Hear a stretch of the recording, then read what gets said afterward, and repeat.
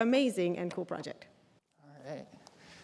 Well, thank you very much. So I'm really thrilled to be here to talk to you about our project, which really came together last July.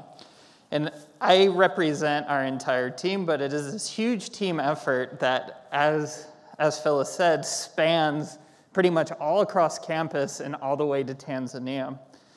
And we're coming together to solve one of those problems that almost every museum has, and that's connecting an object to all of the information that it represents. More specifically, natural history museums draw hundreds of millions of people every year or uh, over many years. But I love this picture because this is the Field Museum in Chicago on opening day, May 2nd, 1921, so over 100 years ago. And in these museums, you can have foundational educational experiences that have led to many STEM careers. That's why I'm standing in front of you right now, because this is how I got my start. This got me thinking about the past and how to bring that to help understand where we're going. Within these natural history museums, one of the biggest draws are prehistoric animals, largely because they're big. They invoke imagination of something you just can't see. Specifically, one of those that most of us probably know is Tyrannosaurus rex, one of the biggest carnivores of all time. But one of the big challenges we have is that this is a skeleton of an animal that lived 66 million years ago, but the only information about it right here at the museum is just a little panel. And there's only so much you can put on that panel. You can talk about where it was found, you can talk about who named it, but most of the information that is T Rex and what it represents on our planet is gone. We don't see the information about how it looked, what its teeth were like, and how those teeth actually were used where it's from, places like Montana, South Dakota, and what the environment would have looked like 66 million years ago in the northern part of North America. So, our project is to bring all of these details and be in between the physical skeleton and all that information. So, we're creating a digital platform that you can use the physical skeleton to access all this information that is critical for understanding T Rex's place and Earth history that we all share. So, our primary goal in this project is to close that gap between the static skeletons that we see in museums all over and have a way to deliver a wealth of information. Again, there's this disconnect between the animal or the exhibit itself and all that information. And a lot of that's on the internet, but it's really hard to find. So our goal is to connect that in that place and beyond. So, with that in mind, we have two major goals in this project. And one is to create a digital skeleton that's the centerpiece for an immersive educational experience, something that you can experience in a museum or beyond the museum anywhere in the world. And what we're trying to do by creating that by creating that digital skeleton, we can make a physical 3D printed skeleton from that and use that as a guide to get all of this information in one place. Our secondary goal is to release everything so anyone can access this in the world. So, for me as a paleontologist, the bones of these animals are only in one place in one part of the world. But when you digitize them, someone can look at them in 3D and download them and print them out almost instantaneously. Not only is it the specific bones that we can print out, but in this case, we'll have a skeleton and parts of the skeleton, and everything associated with that animal will all be available. So, those are our two goals. Our vehicle for this project is an animal called Teleocrater rhadinus, which we named in 2017, so it's a pretty new animal. It is not a dinosaur, but it is the great, great, great, great, great dinosaurs. It is one of the oldest relatives of dinosaurs that we've ever found. It's from Tanzania, so in East Africa. And what's really great is almost all the bones of that animal are here on campus. Those belong to the people of Tanzania, so we're taking care of them, we're cleaning them, we extracted them, and they'll all go back after this process. The bones of the animal are actually pretty small, so Teleocrater isn't one of the giants, but to get this project done, the animal itself is only about six or seven feet long, and most of that's tail. So that's why we chose this animal. But also, we know that it tells a great story, right? It doesn't necessarily look like a dinosaur. It's got hallmarks of a dinosaur, but it has a lot of tales to tell about how dinosaurs arose um, about 230 million years ago from something that looks a bit more like a crocodile on stilts. So Teleocrater is here, scan all of the bones, assemble this great team, as, as Phyllis said, so I won't spend too much time here. The team works together bring all of these different groups to um, analyze and work together how to make this happen, which for me is a great learning experience because I spend most of my time thinking about how this animal tells stories. But to get those stories out there takes everyone else in this team.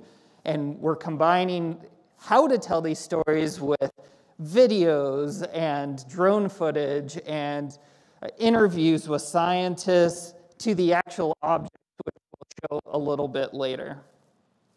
Not only do we have a, a great team of, of people that do this professionally, but underlying all of these teams are a huge group of students which have been driving a lot of the innovation and putting everything together to help us out. So we've got this great team that works together and hopefully over the next semester or uh, towards the end of this semester, we'll get even more synergy between the students across all of these parts of the project so they can see how all these different pieces come together. All right, so now I just wanted to go over a little bit of the process that we've been going through. After these fossils have been extracted, they come into the geoscience building where our, where our labs are. We clean the fossils. Once they're clean, we take them over to the library and they get digitized. They get digitized using high, high fidelity surface scanners that not only record the shape down to way below a millimeter, but it also records the texture and the color of these bones. So it's not exactly the same as holding the bone in your hand, but it's as close as you can get, and those files can be fired off to anyone in the world. So these are, bones are scanned, they're put into a digital environment where they are exactly the same size as the original bone. From there, we start doing a little bit of reconstruction. We take those original bones and using our skills of anatomy and digital sculpting, we can assemble those bones into an entire skull. So this is the skull of Teleocrater. This was done in ZBrush a couple weeks ago. And this is the highest resolution we can have. So this skull right here is something like 4.5 million polygons. So we keep the highest resolution, but then we can't use that in the platform in the AR applications that we want to use because they're too big. And to explain this process, we have a number of students right here that will talk about some of these challenges. Um, hi, I'm Zach Kim. I'm one of the project managers with the Aries Lab and the library services, and these are, I'm going to let them introduce themselves. Uh, I'm Emma. I'm one of the uh, art 3D object modelers on the team. I'm a senior of CT at here at Virginia Tech.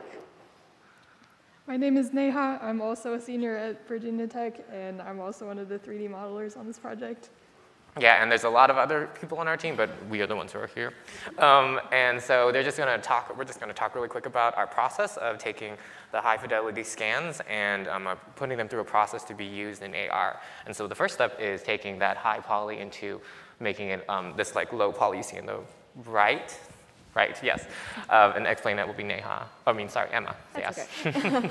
But yeah, so like Dr. Nesbitt was saying, when the bones first come to us, there are like millions and millions of polygons, and of course, um, most like modern day like AR and computers like can't handle that much information like very quickly. So it's our job to kind of take it into ZBrush and bring the bones down to like a poly level that would be able to work in a AR related environment and can go across like multiple platforms.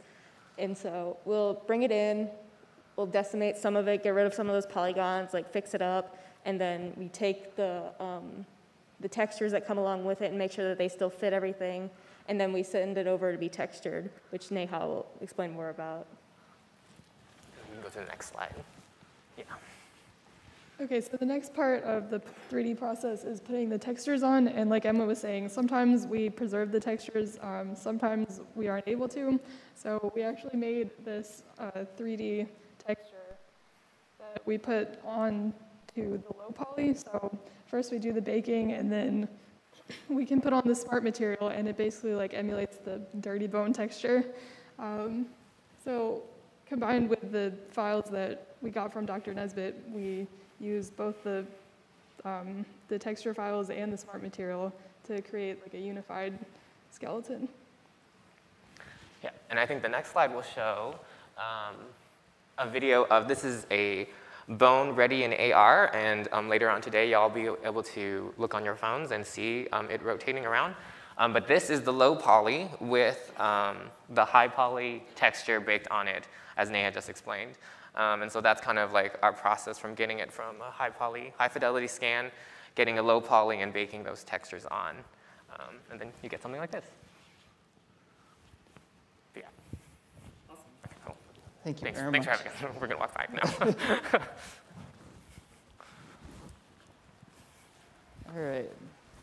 So we're going to be combining that with lots of questions that can connect the physical model, the digital model, with its paleobiology. And we have a number of questions that can be followed. So this is where that educational material that is mostly lost comes together. So here are a couple examples. What did it eat? We can animate the animal. We can animate the animal biting something. We can actually reconstruct its brain from the internal spaces within the bones. We can show. We could put scales and muscles on it to show what the head would have looked like, and maybe even take the entire skeleton and make it move, which has its challenges, but it's something we would all like to see. So that's the paleobiology of the animal. But we can go further. We can talk about the discovery process. We can talk about us being in Tanzania. There's Michelle cleaning off some bones in 2017 from where Teleocrater actually came from. We can talk to Tanzanians about where these fossils came from, why paleontology is really important in Tanzania, and what the region is like, all the way to the cleaning of the bones in our lab here with one of our uh, paleontology preparators cleaning the teeth of this animal. So we can ask all these questions, and by clicking on them, they can get more information if they would like it. So it's a way to explore beyond just the bones there. Then we've got a couple other kinds of um, other kinds of information we can have, like paleo context, so widening it out. Why is this animal important? Recreating the environment. So Teleocrater just didn't live alone. It had uh, relatives of mammals around. It lived in a forest, which is not like Tanzania right now, and so on and so on. And we can show how Tanzania today is in a very different spot than it was 230, 240 million years ago. And finally, as we go through this process, we can document how we're doing the digital reconstruction. Where are the questions that we still have? How do we make something from just a few bones? And we can show that most animals that we have on our planet that are extinct are only known by a certain percent. The skeletons that you see in museums that are fully there, most of that is based off of reconstructed material. They don't come out of the ground that way, and we can show that. All right. A little bit about the platform. So, one of our big challenges is to get all this information in there and have it run on uh, tablets or phones easily. One way that we deal with not having to update lots and lots of different systems is having it through PlayCanvas, through WebXR. So no matter what kind of device you have, it should be able to work so we don't have to keep updating things. The, I, I don't know all the details here, but the most important part is, is to balance the information, so no information overload, with what can actually be seen.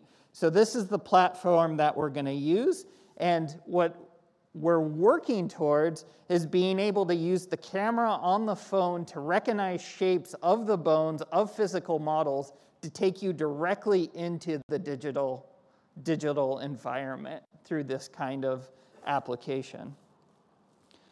All right, and as we're up, we haven't gotten there quite yet, but I've got an example of the Teleocrater skull right here. So this is what you just saw. This is actual size.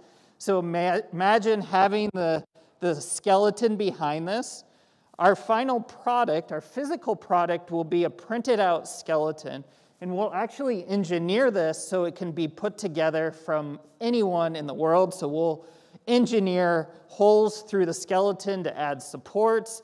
There'll be a way of mounting it in different positions. And our ultimate place for the skull of Teleocrater besides the Museum of Geosciences on our campus, is the Field Museum, after 100 years after it opened, and the Natural History Museum in London, which is the most visited natural history museum in the world. So we might have a very large audience that will be able to see what we have done at Virginia Tech. All right. Just a couple notes. Here we are with the project. We've modeled many of the bones. We have almost all the bones in a 3D environment. We're working on the application. And really, the last part we have not done is that full 3D printing in the physical model and exhibit that will go to these other museums. So we've made a lot of progress, still have a lot to make, but we want to use this as a jumping off point for other kinds of extinct animals. So this is the, the I guess, the guinea pig for trying to expand this program to many museums. So, getting back to our outcomes, I wanted to show an example of what we thought when we started this. We want people to interact with the physical skeleton in a physical space, but be able to take it to a digital space which contains all that information. So you can scan it Scan a skeleton as you walk around it. You'll be able to see all that information that is usually lost or in places all over the web or not available at all.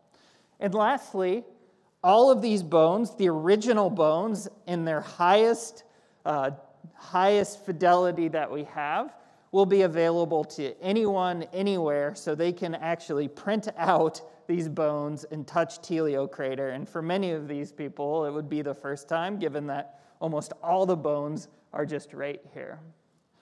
So, with that, I would like to thank ICAT for funding our project and all the support that we've had over the last eight months. Thank you very much.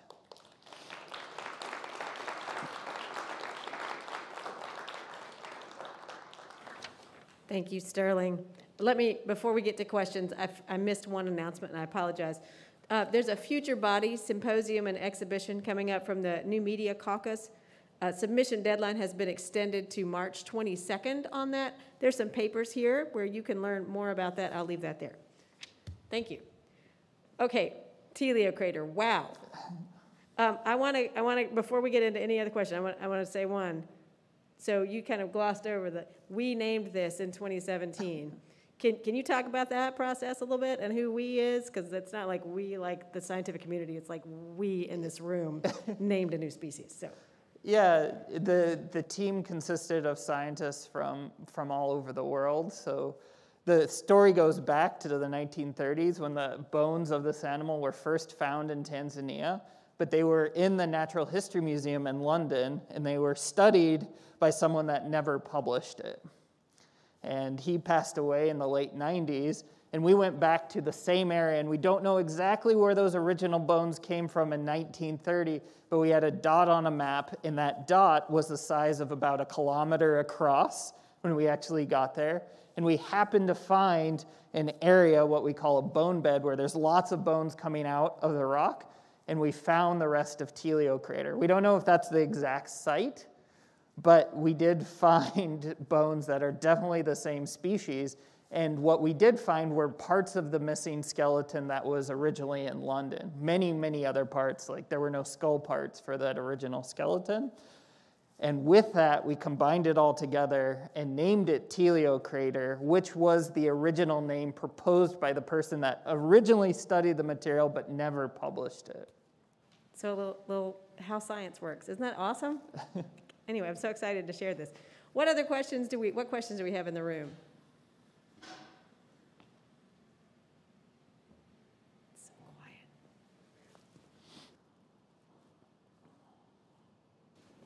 I'm going to myself right here. First, yeah, this was a fantastic presentation. It's a, such a terrific project um, for so many reasons. Um, but bridging between the science and education through art is, is just, this is really neat. But I always ask this question, or I ask it quite a bit, of when you go through this kind of process, and you now have pretty much developed a pipeline between the, the bones all the way to the AR digital artifacts, do you think that there's opportunities, or maybe even has it already happened, of learning something new as a scientist in this process, not merely conveying it to all the, the people that'll go to these museums, but um, to the science community as well? Yeah, absolutely. Putting the skull together taught me about proportions of the skull because we only have seven, six or seven bones of the skull, and what you're seeing in the skull where it's rougher. These are the real bones, but they're mirrored, so we only have one side. So, how those proportions work out gives us an overall shape of what the animal would look like. And this is a carnivorous animal, but it's not like a dinosaur skull. And through that digital sculpting, I was able to figure out how far this joint was in the back, where the teeth are located, things like that. And that you don't really think about as much unless you have to recreate the parts that are not there. Excellent, thank you. What and while questions? I'm doing oh, ahead. that, though, we do have a demo that we can use to see some of this AR in reality. So we've got a couple examples back here. And I believe you can scan this See if you can do it with your phone. And see where to go. And these are markers that should be able to take you to the skull, right, Zach? Yeah, all right. And then, of course, you're welcome to come up after that, after that and see the physical model of the skull.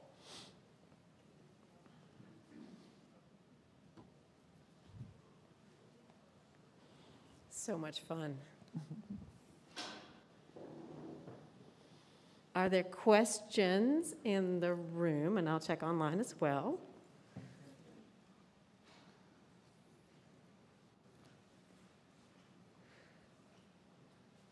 Come to you, Todd. Oh, thank you.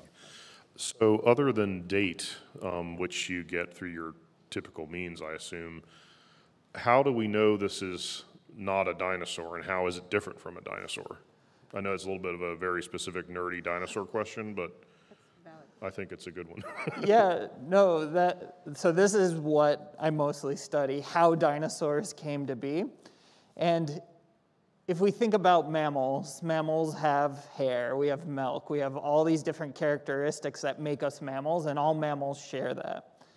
The same thing's true of extinct groups, um, dinosaurs, every group on our planet. In this case, Teleocrater has a number of dinosaur like characters, but not all of them. And what we call dinosaurs is a little bit arbitrary. It's where triceratops like animals come together with birds. And where they come together on the tree of life, we call everything within that group dinosaurs. So Teleocrater is just a couple branches outside, so it's like a third, fourth cousin So it's close. It has hallmarks of dinosaurs, but it's missing some of those classic dinosaur characteristics that you see in all dinosaurs. Heading your way. What kind of uh, process are you using for 3D printing? Yeah, so we haven't gotten there exactly yet, but we have printed this in resin. So this was done, I think, on the form 3L, which is about this big. Um, it's, it's in a, it's in a cured, laser cured resin. So the, the quality is exceptional, and this wasn't printed at the highest quality. Because we want to keep costs low for printing these skeletons for anyone, most of the skeleton will be printed in using the other kinds of printers, which start from the bottom up in something like PLA, ABS, something that's uh, about a fifth the cost of this. And that, that will be our goal. Um, we haven't done it yet, and we have to figure out how to cut up the skeleton to print it in a way that reduces waste of struts, but also increases the amount of detail to what we want to see, but also um, give as much detail in the places we want people to see detail. So ultimately, when the skeleton is mounted, you should be able to walk near this, look at it with your phone through your camera, and that will, tri- that will take you to this digital environment where you can click on it. And of course, the physical model won't close its job, but the digital model would. My mind is just blown. There's so many, there's the 3D printing and the scanning and the being able to take these skeletons that are millions of years old and just hand them to everybody. I just love it. We are at time, so I want to thank you, uh, Sterling, and the whole team. Uh, loved hearing from the students this morning. I want to thank everybody for being here this morning. And we will not be here next week because it is spring break, but we will be here the Friday after that again. Hope you all have a great spring break, and let's hang around and look at the, the uh, 3D printed skull, and there will be donuts shortly. Y'all have a great day.